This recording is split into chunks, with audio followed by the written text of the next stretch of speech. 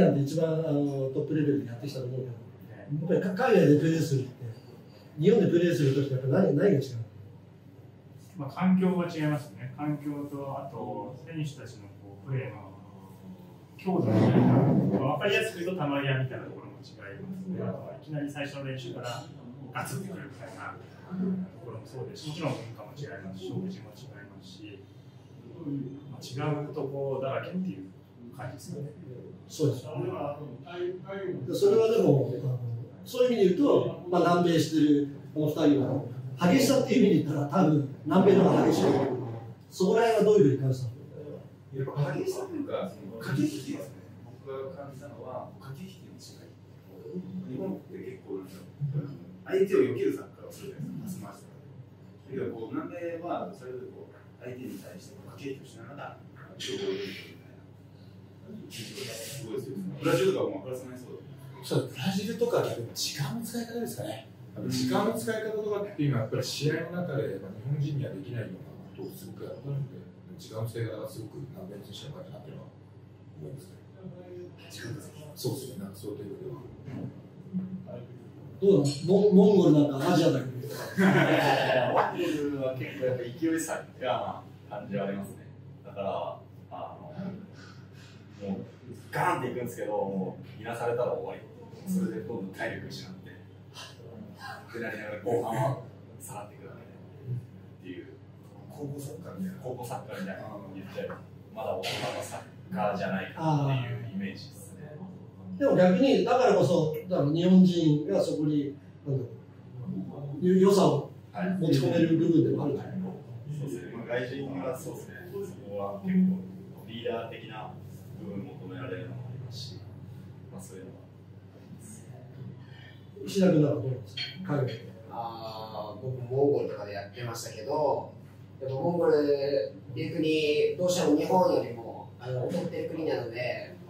あのローカルの選手たちがやっぱりそれ上手じゃなかったりするんですけども、まあ、そこでやっぱそのローカルの選手を下に見てしまうともうサッカーはチームスポーツなので絶対にうまく回らないんでそこをどうローカルの選手をリスペクトしてチーム一丸と戦ってくれるかっていうのはすごい気をつけてプレーしてましたね。結構リスペクトって大事だなって僕言ってましたけど、おっしゃるように、リスペクト、まあ、チームメイトもそうですけど、まあ、その国の文化とか、まあ、そこから、まあ、自分が外国人なわけじゃないですか、日本と比べないっていうか、日本だったらこうなのにとか、日本だったらこれあるのにっていうふうに気持ち思い出すともう、もキリがない。うまく回らなくなっちゃいます。ただただストレスになる。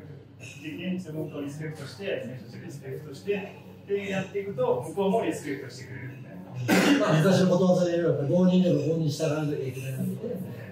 やっぱり結局、まあ、僕らが助っ人側だから、やっぱりいかに現地に適応して、でもそういうことができないと、やっぱりやっぱり海外でプレーするの難しい。神田神田君なんですか、い、やいや、海外でプレイヤー、いやプレイヤーとしての立場で。プレイヤー。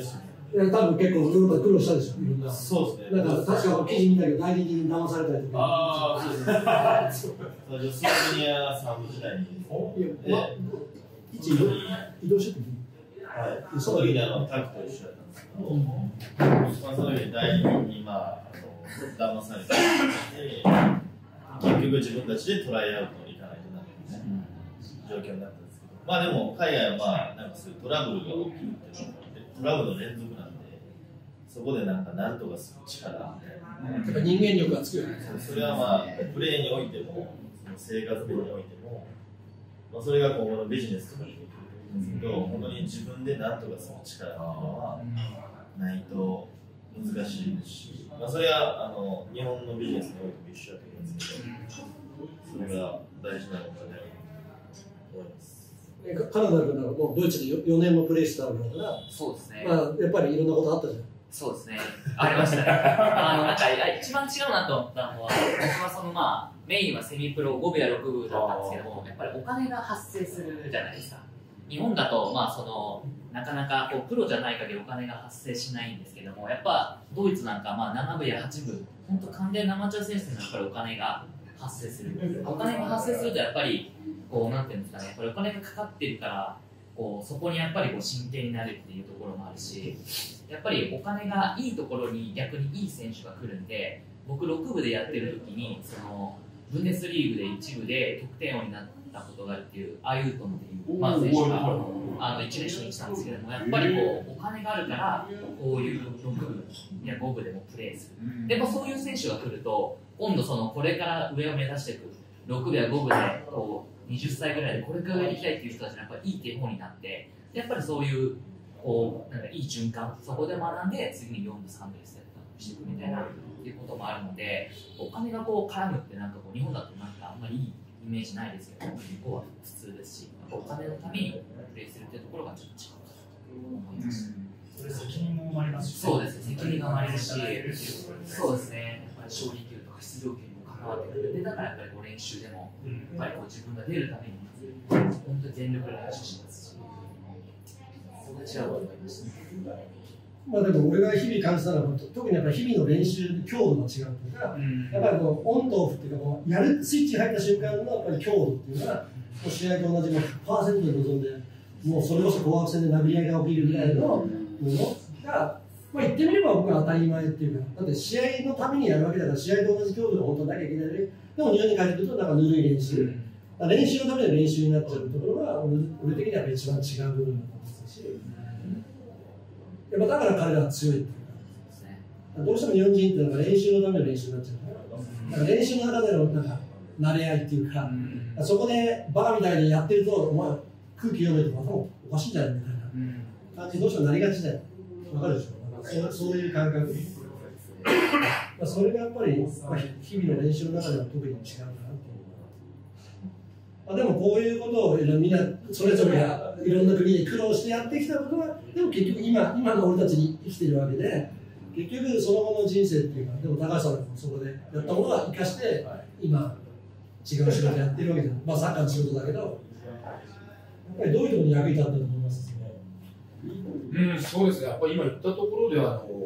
行動力で、例えば自分が今、FC 画像起業しよう、起業、まあ、LPO で取ってるんですけども、やっぱりあの一個一個、例えばブラジル行った、モンテネグロ行ったって思いつきじゃなくて、やりたいっていう行動力で行ったので、まあ、それが今、結局じゃ会社を起こしてって、今年で9年目なんですけど、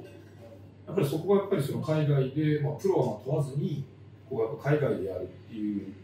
こう行動力と情熱があったんで今に至ってるのかなっていうのはすごく今起業して思うところでもありますね。そうです例えば特に例えば何年もその国にいた選手は言葉の面でもできるようになるので、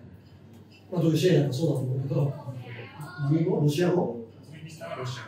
ああ、そうなん結局その言葉を喋れるだけで次の人生にものすごく役に立つわけじゃないですか。まあ、シェイラン、シェイランって今解説者がやってるからなんだけど、まあでも言葉できることは役に立ちます。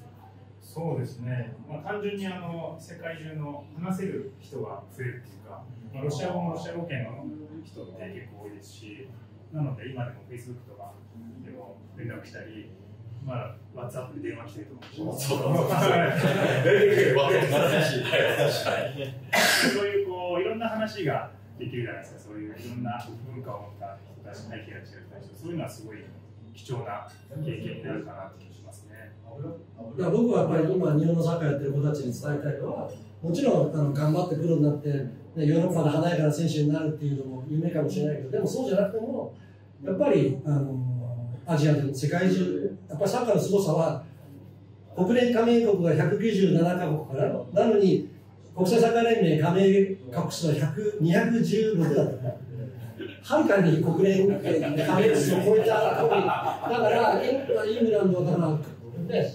あのスコットランドとか北アイルランドとかああいうふうに分けて分けて計算してくれるわけだからすごいなと思うわけよそれがサッカーの凄さだし世界ダントツナンバースポーツなわけだから世界のどこにでも今サッカーが全てにあるわけで。だからそういう意味でもう無限大にあの僕らが飛び出していってサッカーに関われる場所はあるわけだ。それはそれこそサッカーの素晴らしさです僕も今まで世界43カ国のサッカーで行かせてもらってやっぱりサッカーをやってるからこれだけ国に行かせてもらって今ね僕らも今ここハノイにいるわけだから普通やっぱりなかなかこんなことはできないわけでこれはやっぱりサッカーをややり続けたことが素晴らしいと思うしえー皆さんもあのこれからそういうことをあの目指している子たちはあの、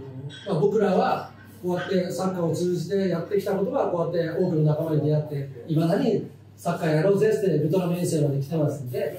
まあ、これからの子どもたちには本当にサッカーをやってる限り世界に飛び出してほしいなと思うのでぜひよろしくお願いします。皆さんありがとうございました。